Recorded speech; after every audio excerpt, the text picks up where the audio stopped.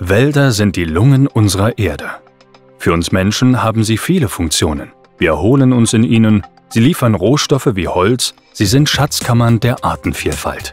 Und als CO2-Speicher sind sie von globaler Bedeutung für den Klimaschutz. Doch die industrielle Nutzung gefährdet die Artenvielfalt und das Klimaschutzpotenzial unserer Wälder und droht den Wald auf die Ressource Holz zu beschränken.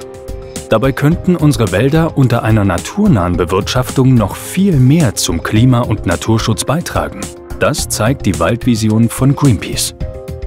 Die herkömmliche Nutzung unseres Waldes ist geprägt von plantagenartigen Monokulturen aus Fichten und Kiefern.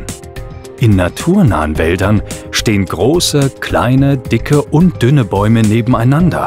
Vor allem starke Laubbäume wachsen an den für sie heimischen Standorten bis ins hohe Alter.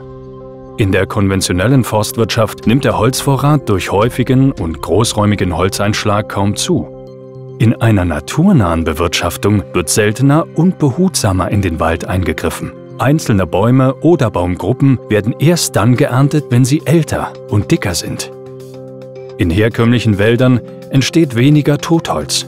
Dabei ist dieses für den Erhalt der Artenvielfalt essentiell in der ökologischen Bewirtschaftung bilden daher viel mehr und vor allem auch ältere Bäume nach ihrem natürlichen Tod reichhaltige Lebensräume für Pilze, Insekten, Fledermäuse und Vögel.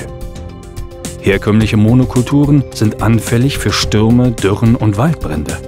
Naturnahe Wälder sind angesichts der drohenden Auswirkungen des Klimawandels stabiler und widerstandsfähiger.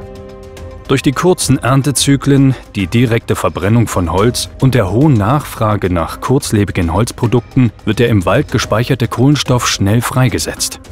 Naturnahe Wälder können unter dem Waldvisionsszenario fast dreimal mehr Kohlenstoff binden als konventionell bewirtschaftete Wälder.